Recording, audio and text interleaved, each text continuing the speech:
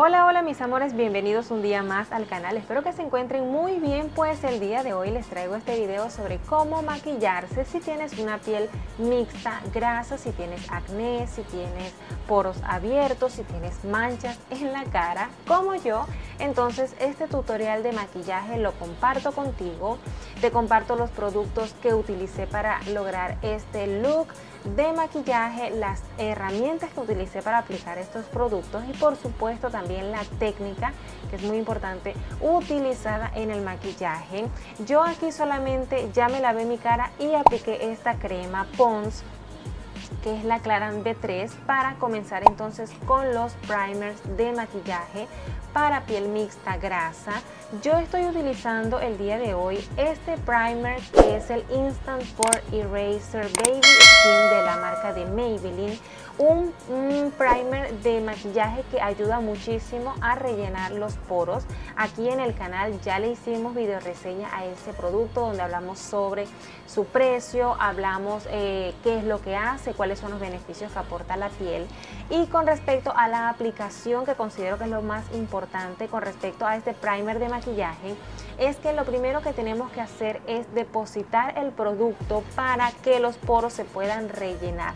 No comenzar a difuminarlo como lo estoy haciendo en este momento, sino que primero es depositarlo en el porito y ya luego que se haya rellenado, entonces ahora sí vamos a difuminarlo.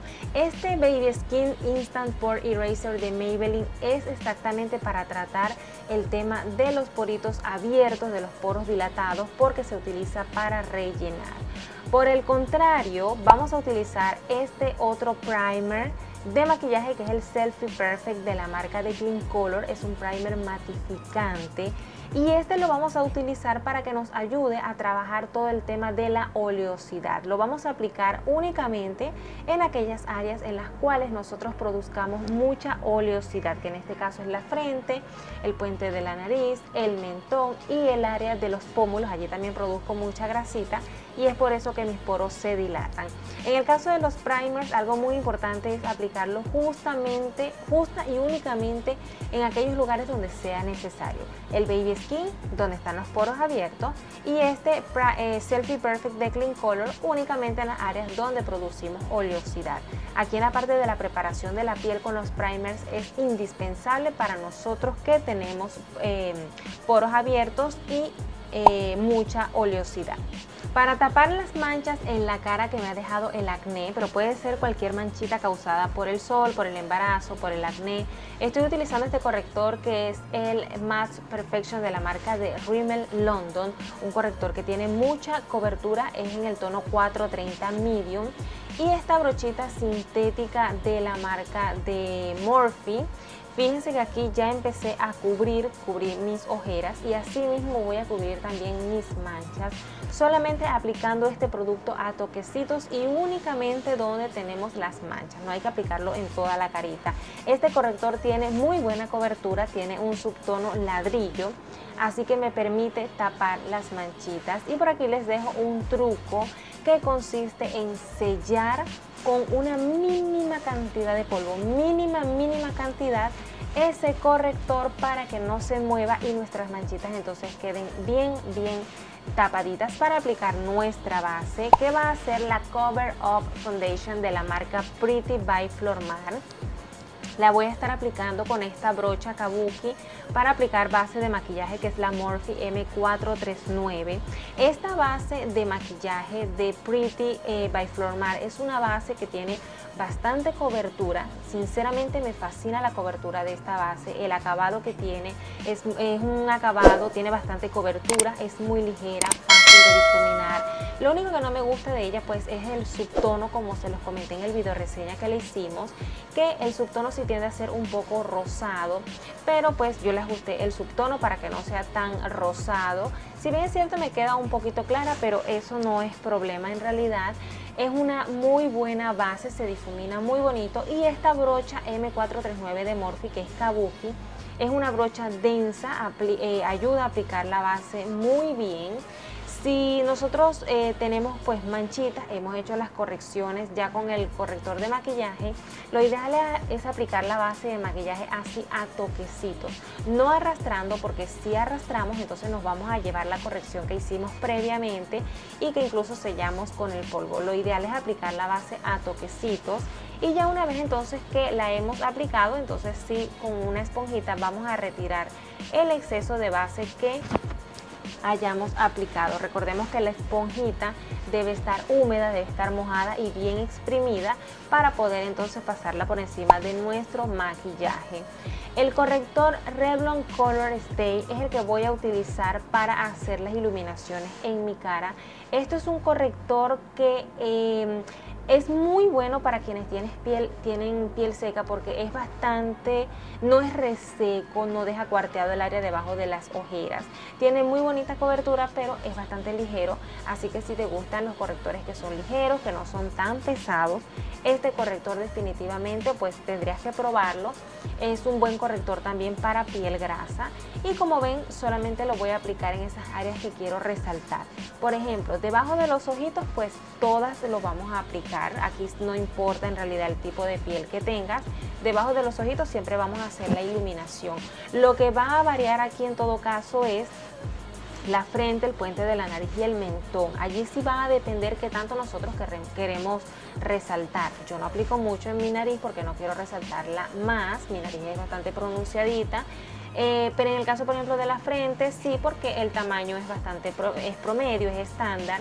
Si por ejemplo tu frente es pequeña, aplica más para pues eh, llamar un poco más la atención allí, que se vea mucho más grandecita. Si es de grandecita, entonces pues le aplicas un poquito de producto para no llamar tanto la atención en esa área.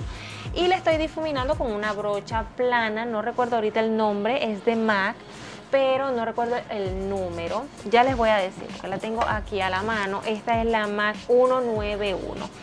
Y por supuesto ya entonces para retirar el exceso, si tenemos una piel mixta grasa, nuestra esponjita es una gran aliada porque nos ayuda muchísimo a retirar exceso de producto, exceso de base, exceso de corrector. Por eso es que después de la aplicación de cada uno de estos productos, como ven, paso entonces mi esponjita para ir retirando exceso. Recordemos pues que las bases, a pesar de que son para piel grasa, también contienen un poquito de aceite, así que me dedico a retirarlo con la esponjita.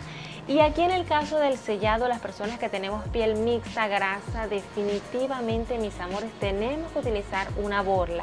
En este sentido, fíjense, la borla, nada sella mejor que la borla, ninguna brocha sella mejor que la borla, pero la vamos a utilizar solamente en esas áreas donde nosotros producimos mucha grasita y donde tenemos los poros más dilatados.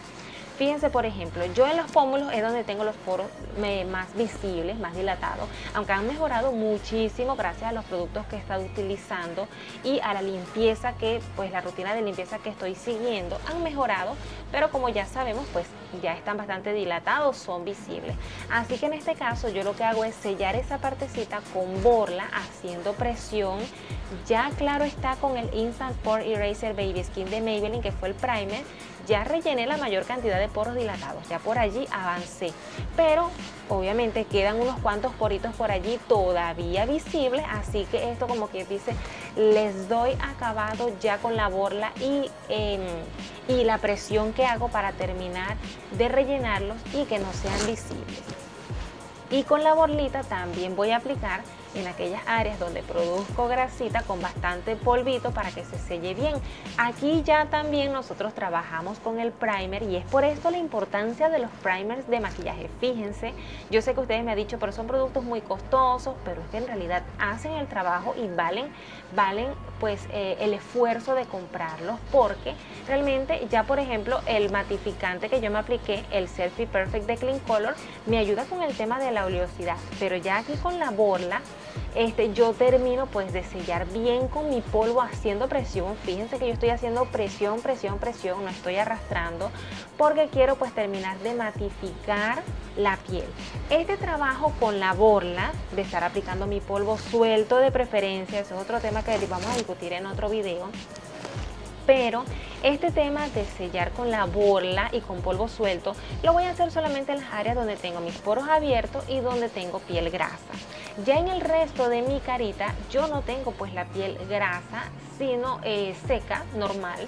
Entonces aquí sí utilizo una brochita porque en realidad no necesito sellar con bola, no necesito hacer tanta presión, no necesito matificar. Así que por eso tomo una brocha de maquillaje para aplicar el polvo. Es una brochita eh, es densa pero un poquito suelta también. Así que con esta brocha pues sigo tomando un poquito de polvo suelto. Ya tiene que ser un poquito mm, eh, menos de lo que apliqué pues en la parte donde tengo los poros abiertos y donde tengo una piel que es grasa porque sí produzco mucha grasita entonces eh, ya en los perímetros de la carita entonces allí sí es donde voy a sellar con una, con una brocha si tú, por ejemplo, tienes una piel totalmente grasa, es decir, produce grasa en, todo, en toda la cara, es decir, en la zona T, en los pómulos, en la zona U, que son los perímetros de la cara, en los alrededores, y tienes una piel totalmente grasa, entonces sella con borla toda la grasa y con bastante polvo suelto.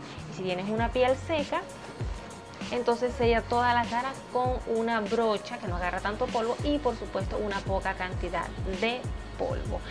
Ya por ejemplo a lo que sigue es simplemente pues aplicar un labial. Yo me apliqué este labial colorísimo cremoso mate de la marca Vogue, creo que se pronuncia en una marca colombiana y el Shiny Flower Gloss es un gloss de la marca de Victoria's Secret Divino. Yo por lo general eh, aplico primero el labial y luego aplico el rubor. Eso es un truco que tengo para no pasarme de rubor. Pero en realidad, eh, por ejemplo, omití ya lo que es el paso del rubor y eso porque quiero dedicarme a mostrarles exactamente lo que es la piel, la piel grasa como tal. Así que por eso quise pasar al área, a la parte de la iluminación, el iluminador como tal. Yo sé que por tener una piel mixta grasa muchas veces dices, ay no, yo quiero estar totalmente mate, le huyo al iluminador, no quiero utilizarlo. Pero aquí se trata de utilizar una brocha pequeña para utilizar, eh, tomar poco producto, de utilizar un buen iluminador, una buena técnica y aplicarlo a los lados y no de frente para no vernos entonces como si tuviésemos oleosidad. Amores, si ustedes se identifican conmigo, tienen entonces estas características en su piel, espero que toda esta información que les he dejado en este tutorial de maquillaje les haya gustado. Leo sus comentarios que me pueden dejar allá abajito para platicar entonces un rato con ustedes. No puedo irme por supuesto sin antes invitarlas a suscribirse aquí al canal. Si les gustó el video déjenme una manito arriba para yo saber entonces qué les gustó. Nos vemos en un próximo video y les cuento que allá abajito en los comentarios les estoy dejando una carpeta con muchos más tutoriales para que los disfruten. Nos vemos en un próximo video. Les deseo por supuesto una linda piel, un lindo maquillaje y nos vemos en un próximo video. Les mando un beso como es de costumbre.